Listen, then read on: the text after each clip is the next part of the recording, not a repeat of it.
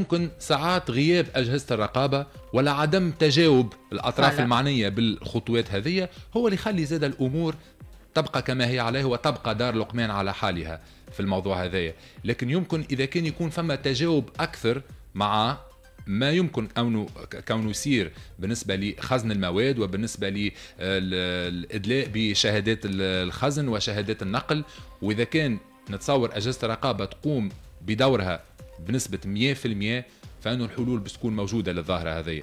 لأنه مؤكد كونه اليوم التشريعات موجودة وتشريعات تبدلت ونذكروا كل ما تحكي على مسالك التوزيع وعلى الكلام زاد اللي كان يقول فيه السي خالد. فيمكن اليوم كونه يكون الحل في تقوية أجهزة الرقابة في إنفاذ القانون في إحكام القبضة على الأماكن اللي تقوم بإنتاج المواد الفلاحية وبنقلها يمكن كونه راو تطور وتقدم في حلقة كاملة اليوم في ال... يظهر لي لازم حوار وطني هذه واش تتفضل الحكاية واصلة نواصلوا زينة ونمشيو لثالث مواضيعنا اليوم في بالبونت العريض. باش نرجعوا على كلمة وزير الشؤون الخارجية والهجرة والتونسيين بالخارج محمد علي النفطي اللي كان شارك في قمة المستقبل المنعقدة في نيويورك الأمريكية. وفي كلمته كان جدد وزير الخارجية دعوته للدول المتقدمة للإيفاء بتعهداتها وتذليل العقبات من أجل تيسير استعادة الأموال المنهوبة بالخارج. نجدد من هذا المنبر الأممي الدعوة إلى البلدان المتقدمة الإيفاء بتعهداتها في مجال تمويل التنمية المستدامة والعمل المناخي وتخفيف أعباء الديون على البلدان النامية والتعاون الجاد لتذليل العقبات أمام استعادة الأموال المنهوبة بالخارج بما يعزز مقدرات شعوبها في التعويل على مواردها الذاتية في مواجهة التحديات الماثلة. أيدت تونس مبادرة الأمين العام بالدعوة إلى عقد هذه القمة إيمانا منها بحتمية القيام بالمراجعات اللازمة للمقاربات المتبعة وبضرورة إصلاح آليات العمل متعددة الأطراف وأهمية تجديد الالتزام بمبادئ ميثاق الأمم المتحدة واحترام القانون الدولي واعتماد مقاربة جديدة للتعاون الدولي تقوم على المنفعة المشتركة والندية والاحترام المتبادل وعدم التدخل في شؤون الغير واحترام السيادة الوطنية. السيادة الوطنية وعدم التدخل في الشأن الداخلي لتونس كما نحترمكم تحترمونا والأموال المنهوبة. هذه أهم وهذا أهم ما جاء في كلمة رئيس وزير الشؤون الخارجية. في قمة المستقبل بنيويورك. في علاقة بشأن الداخلي لتونس مش أول مرة الموقف واضح خرج في بيان وزارة الخارجية سابقا قالوا مرارا وتكرارا رئيس الدولة تفهم بالكلام هذا أو التجديد اليوم على عدم التدخل في الشأن الداخلي لتونس. خالد كرونا هل في علاقة بالاستحقاق الانتخابي أو هذا كلام في المطلق؟ ما عادش تعطيونا دروس في الديمقراطية. تولهوا في رواحكم نتولهوا في رواحنا. ثم زوج قضايا اللي إحنا باش نعلق عليهم لو سمحتي. تفضل. اولا النقطة المتعلقة باش نبدأ بالنقطة الأقل أهمية اللي هي حكاية استرجاع الأموال إحنا جايين هذيك خليتها العكس خاطر آه. تحبي bloc كامل هذيك ما كمان ال bloc, ال bloc الأكبر. ال bloc الأكبر. ماهوش قضية باش نعالجوها. ال bloc الأكبر هي شنو علاقتنا أحنا كدول بمنظومة الأمم المتحده بمعنى؟ بمعنى أحنا مازلنا مضطرين كدولة بالنسبة لتونس وسائر الدول الأخرى مازلنا مضطرين باش نحضروا في المنتظم الأممي. يلزمنا علاش تعتبر مضطرين؟ هاو علاش هاو علاش مضطرين؟ على خاطر منظمة الأمم المتحدة نشأت في 45 في أعقاب الحرب العالمية لأهداف معينة. أهداف اللي هي حفظ السلام اللي هي آه احترام مبدأ سيادة الدول اللي هي التعايش السلمي بين الدول ومعاملة منظومة كاملة وآلاف الموظفين مئات الآلاف من الموظفين. كي نجيو إحنا نعملوا لحظة تأملية. كي نتفرجوا على أخبار في لبنان اليوم. مثال كلام. كي نتفرجوا على عام قريب قريب عام تو الشيء اللي صاير في غزة. نفهموا اللي المنظومة هذه سقطت. علاش؟ لأنه عام 45 خرجت خرج العالم بزوز بزوز قوى. أيوه. الاتحاد السوفيتي في ذلك الوقت الذي يقود حلف فارسوفيا والولايات المتحدة الأمريكية اللي تقود الحلف الأطلسي. خلق حالة من التوازن باش أنشأنا هذا النظام اللي هو منذ البداية كان نظاما جائرا لأنه الناس اللي يحضروا في الجمعية العامة ما عندهمش نفس السلطات. نتاع خمسة دول تحضر في مجلس الأمن. اليوم اللي نحب نقوله استباقا هو أن هذه هذه المنظومة سقطت.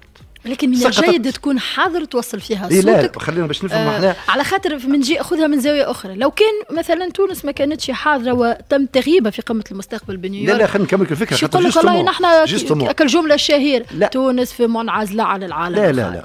شوف اولا نجيو الحكاية حكايه شنو لازمنا نعملوا تو. أيوه. هانا جايينها.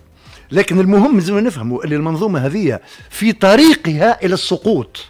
لأن العالم قد تغير.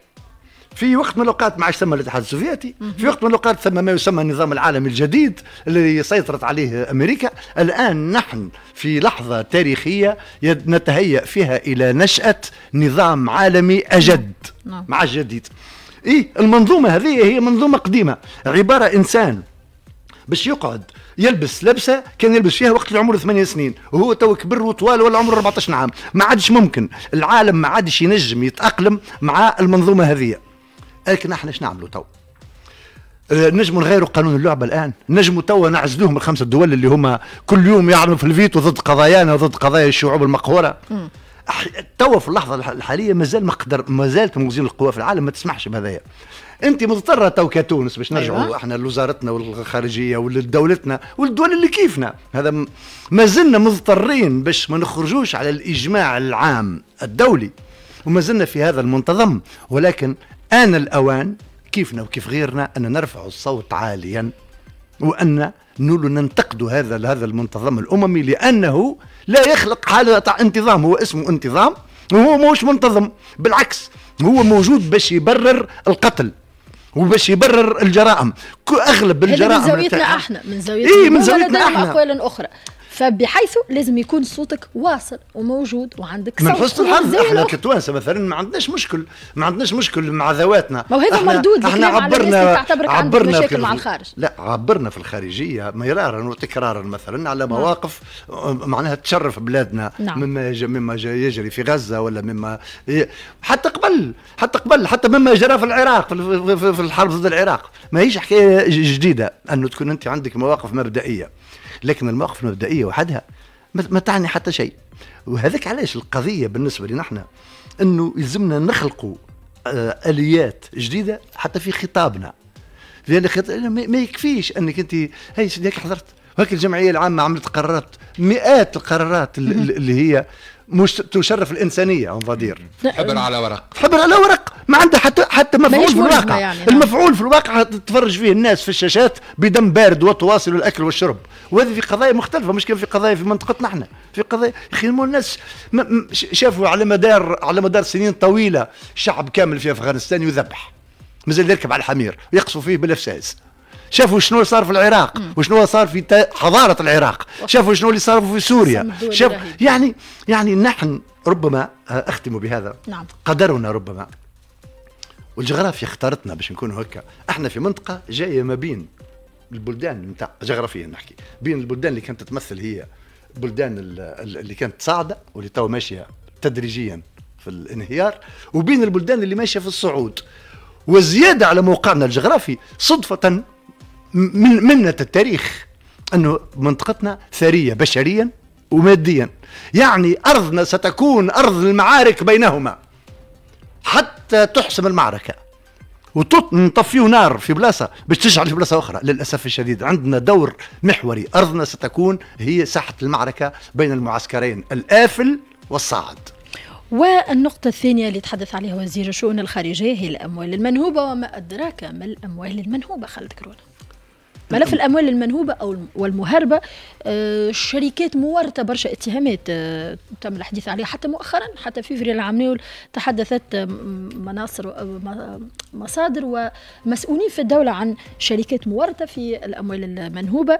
وزير الخارجية اللي طلب البارح تيسير استعادة الأموال المنهوبة وقبله آه، وزيرة العدل اللي كانت استقطبت واستقبلت نظيرها السويسري في علاقة بالأموال المنهوبة. وقتاش ترجع الأموال المنهوبة من 2011 لليوم؟ ونذكروا زينه باللجنة باللجنة اللي تم إحداثها لاسترجاع الأموال المنهوبة وقيمتها لتوصل ل 13.5 مليار دينار من المليمات يعني 13 ألف مليار و500 والمعطيات اللي تقول كونه فما 460 شخص متورطين في نهب الأموال هذه.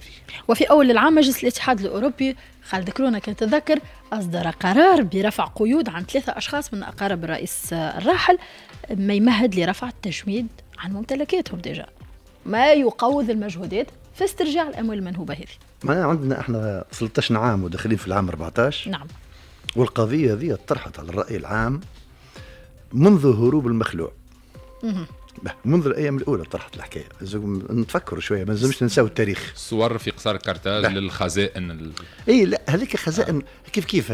تم توظيفها آه. والسلام. كانت كانت نعم. معناها ميزانيات كيف أقول التدخل العاجل واللي هي معناها ماهيش ما تدلش على أموال منهوبة. هو غايض من فيض كما يقول. أما الأموال المنهوبة هي الأرقام الرسمية اللي سيادتك أنت فيك كنت تذكر فيها اللي هي آه، أموال مهمة. لكن شنو عملنا إحنا كتوانسة؟ لماذا تعطل هذا المسار مدة أكثر من 13 عاما؟ لأنه إحنا زعما ما عندناش محامين ومختصين قانونيين يعرفوا يفاوضوا المحاكم والسلطات في الدول الأجنبية. تجربتنا في الإطار هذا ماهيش باهيه برشا لا لا مش هذايا بالمناسبة تعرف أي, أي دولة. الجرف القاري وشنو صار فيه. اي اي أي دولة حتى كي تبدا ما عندهاش اولا إحنا عندنا. عندنا لا وأنا متأكد. لكن حتى كي ما عندهاش تنجم هي توظف محامين حتى في بلدان أخرى. معناها t'engager d'autres avocats مش ما كانتش المشكلة هذه. المشكلة هل كانت ثم إرادة حقيقية في استعادة الأموال المنهوبة؟ تعرف إيش معناها أموال منهوبة؟ معناها توجيه الإصبع الاتهام مباشرة للي كنا نحكيو عليه للمنوال التنموي. لأنه منوال دولة الفساد والإفساد. وقت اللي إحنا نأكدوا نوريوا اللي إحنا قادرين نسترجعوهم الأموال هذوما. نعم. معناها إحنا أدنا منظومة اقتصادية نعيشوا فيها. خالد كرونا الإدانة باش تكون تكون بالقضاء. أنا باش نعرف مصادر أموالك مشروعة ولا منهوبة من الدولة التونسية وهربتها أنت عندي في بلادي في الخارج لازم الدولة التونسية تستظهر بإذن قضائي يثبت أنك خذيتها دون وجه حق. هذا اللي مازال ما أصدروش القضاء التونسي لليوم لا لا. لا قال أموال زايد اللي في سويسرا ولا أموال عامر اللي في آه، بلجيكا آه، منهوبة ولا مش منهوبة. شوفي. ثم أعمال ثم أعمال جدية وكلكم تتفكروا اللجنة بتاع المرحوم عبد الفتاح عمر وثم أعمال جدية وثم وثائق جدية. والدولة التونسية بالمناسبة في مرات مختلفة وفرت آه على الأقل حتى كان ما عندهاش في جميع جميع الأشخاص ال 400 واش شخص أما عندها مجموعة من الملفات الجاهزة. هل أنه إحنا تعاملنا معها كدولة نحكي؟ وخلال ما نحكيش آه، سنة ولا عام ولا خلال الفترة هذه الكل تاع 13 عام هل تعاملنا بجدية مع هذا الموضوع؟ أم صار الموضوع دائما مجرد إيهام إيهام للناس يعني مجرد كيف سأقول آه بضاعة للاستهلاك الإعلامي. تقدمها كل حكومة ويقدمها كل مسؤول ليقول إنني سأعمل سا سوف أريد أن أعمل على استعادة الأموال المنهوبة. في حقيقة الأمر الأموال المنهوبة هي جزء من أموال المنظومة الفاسدة التي ما زالت منغرسه في هذا البلد. وما زالت لم تقتلع. ولذلك لا ينبغي بالنسبة إليهم في تفكيرهم هما لا ينبغي تحقيق نصر حاسم في هذا الموضوع لأنه سوف يدين تلك المنظومة. اليوم كيجي ويجي وزرائنا ويجي رئيس الدولة ويحكي ورئيس الدولة بالمناسبة حكي عليها الحكاية برشا مرات من 2019 صحيح. وكما عملوا اللجنة هذه عملوا من باب حل حالة الوضع من باب تحريك الملف. السؤال هل ثم نتيجة واقعية؟ ما ثم حتى نتيجة واقعية. إيش معناها؟ معناها إحنا ما زلنا لم نجد طريق الطريق إلى حل هذه المعضلة. نعم. وما زلنا ما وصلناش. ومش على خاطر ما عندناش كوادر خاطر أغلبية الناس اللي عندهم علاقة مباشرة بهذا الموضوع عندهم قدرة على تعطيله أكثر من اللي هم عندهم رغبة في تسريعه. هاني قلت لك الثقة في الوثيقة وقت اللي ما عندكش إذن قضاء؟ يقول أموال رفيق اللي مهربهم في سويسرا. شنو اللي يمنع باش يخرج إذن القضاء؟ هذيك مش حتى شيء ما يمنع. هذا هو أعطيني ما يثبت أولا وأنه رفيق. أمواله سامحني رفيق مثال وكهو شو نقعد نسمي عندك أموال منهوبة أنت. يقولوا نهب أموال في ال في ال اثناء الناس اللي مهربة اموالها واللي فما شكون حتى استعاد فما شكون رفعوا عليه التجميد فما شكون يستمتع في الجزر هنا وهناك. ما ما نحكيوش على أموال منهوبة وأنت ما عندكش إثباتات. رغم أنه المبالغ كبيرة وكبيرة جدا. تونس تطالب بأموالها المنهوبة رجعوا لنا فلوسنا. والبنوك والدول في الخارج يقول لك أعطيني إثباتك. رب نحب ندقق لك زينة سامحني. تفضل. راهو عندهم إثباتات. الملفات مش ناقصة إثباتات. كيفاش؟ معناها نحب نقول ماهوش القضاء التونسي. ما حبش. يكون متعاون في الملف هذايا ويثبت إدانة زيد أو عمر. لا خاطر هذايا يولي يولي فهم خطير الحكاية لا. لا. لم تصدر قلنا لم تصدر. أما عندنا مشاكل مع القضاء غادي. عندنا مشاكل مع قضاء في القضاء الدولي. مش في القضاء لهنا. عندنا مشاكل إجرائية. إحنا وزاراتنا المتعاقبة عندها وثائق وملفات على زيد وعلى عمر وملفات كاملة في كثير من الأحيان.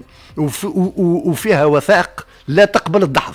إيه على أي حال. ما عندهمش الحق الدول الأخرى. باش يقولوا لنا وثائقكم مش باش يعملوا استئناف على قضايانا نحن على على قرارات محاكمنا هذا موجود. إحنا اون جيرمان العلاقة بالآخر مش العلاقة بملف لهنا. العلاقة بالآخر هو اللي فشلنا فيها داخل ما زالت الأمور هل سمعت خالد كرونه آه، صدرت أحكام قضائية في وقت سابق كان سمعت قلنا في علاقة بالأموال المنهوبة. عشر عشر معايا عائلة بن علي أو غيرهم. كل صادره ضدهم احكام صادره في, في الداخل لما قال لك أعطيني الجرد أعطيني الحكم القضائي اللي صادره في فيهم أحكام مش في الأموال المنهوبه نحكيو على الأموال المهربة. في الخارج لم يصدر القضاء بعد.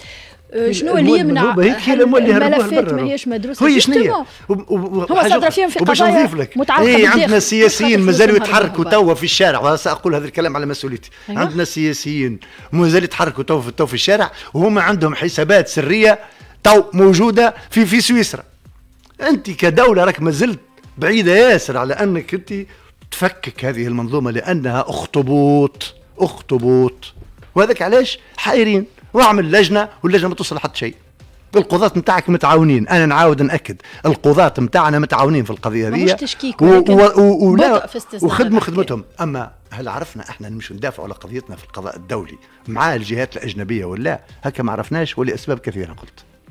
في اثناء الأوضاع في الضاحية الجنوبية بلبنان العاصمه اللبنانية بيروت متأزمة جدا انفجارات جديدة منذ قليل في الضاحية الجنوبية لبيروت وتم فتح المدارس والمعاهد لإيواء النازحين خاصة بعد الانفجارات السابقة وانزادت لها الانفجارات منذ لحظات الوضع. لا ينبئ بخير ابدا في الضاحية الجنوبية ببيروت. خالد كرون الوضع في لبنان. تجاوز هل تجاوز هل خرجت عن سيطرة حزب الله الآن؟ يعني هو بين قوسين الوقت لا يسمح لي بالخوض في هذا الموضوع لكن في دقيقتين. يلزم الناس يعرفوا اللي هذا هذا العدوان الصهيوني على لبنان نعم. أتحدث من الناحية التقنية البحتة. أن تشارك 280 منذ اليوم الأول 280 طائرة عسكرية يعني كل الأسطول الصهيوني شارك في العدوان على لبنان وفي نعم. يوم واحد. الغ... هذا يسمى في الحرب آه الصدمة والترويع. الغاية هي خلق حالة من الإرباك نعم. وحالة من الشلل ليس فقط في الدولة اللبنانية بل أيضا في المقاومة في, في, في, في لبنان آه مع العلم أن المقاومة آه، منذ قليل أصدرت وأطلقت صواريخ آه، من جنوب لبنان طبعا كرد على الشرطة الصهيونية اللي احتمت صور اللي جاتنا من بعض الفضائيات وأنه الشرطة الإسرائيلية احتمت بمبنى خلال سقوط صواريخ حزب الله اللي قاعد يرد يعني مش مش خارجة عن سيطرته يلزم الناس يتفكروا شنو اللي صار في 2006 المتضررين فينا. باش يفهموا شنو اللي صاير تو يتفكروا في 2006 في 2006 نفس التكتيك استخدمه حزب الله. أيوة. يعني اللي هو استيعاب الضربة. وظن الصهاينة كما يظنون هذه المرة أنهم سيتوصلون إلى النتائج العسكرية المراد الوصول إليها. لكن المرة هذه كان الرد أسرع من جانب حزب الله وكان الرد لأول مرة قاسي. لأنه شنو استهدفوا؟ قوة الصهاينة فاش في الجو. استهدفوا لهم المطارات العسكرية واستهدفوا لهم مؤسسات التصنيع العسكري. الصهاينة متكتمين بطبيعة الحال هذاك هذاك هذاك الحرب. ما يعطوش الخسائر متكتمين على على حقيقة الخسائر. نعم. وحاجة ولكن ماذا يفعلون؟ نفس ما يفعلون في غزة. لا يصلون إلى المقاتلين ولا إلى القوة العسكرية. يمشيوا للمواطنين ويمشيوا للعزل والمواطنين. وفي يوم واحد يعني ولا في يومين وصلنا ل 500 شهيد. البارح فقط في يوم واحد 500 شهيد وهي الحصيلة الأرفع مش من حرب 2006 وأغلبهم نساء مش من حرب 2006 إنما من أيضا. الاجتياح الصهيوني للأراضي اللبنانية في عام 82 مع الأسف. ما كانتش الحصيلة ثقيلة كما حصيلة وللأسف يريدون نسخ المثال الغزاوي بالإبادة في لبنان. وعليه أمام صمت العالم. ريت الأمم المتحدة. هذا هو. أمام صمت العالم. هذا هو. تم إيقاف العمل تقريبا في كل المؤسسات بلبنان. آه، الدنيا واقفة قصف وغيره. آه، البارح ناس آلاف عداو ليلتهم في, في الشارع. فما شكون في كراهب وقعد. عشرات آلاف اللبنانيين نازحين تقريبا بعد نهار دام البارح بسبب قصف الاحتلال. كما كنتوا تقولوا 500 شهيد أغلبهم نساء أطفال وأكثر من وأكثر من 1500 جريمه ولكنهم سيخسؤون. سترون النتائج كما تتذكروا نعم. 2006 من بعد عملوا الصهاينه عملوا في تقرير فينوغراد الذي أثبت أن الأهداف التي رسمت رسمها الصهاينه كلها قد فشلت. نفس الشيء سيحصل هذه المرة.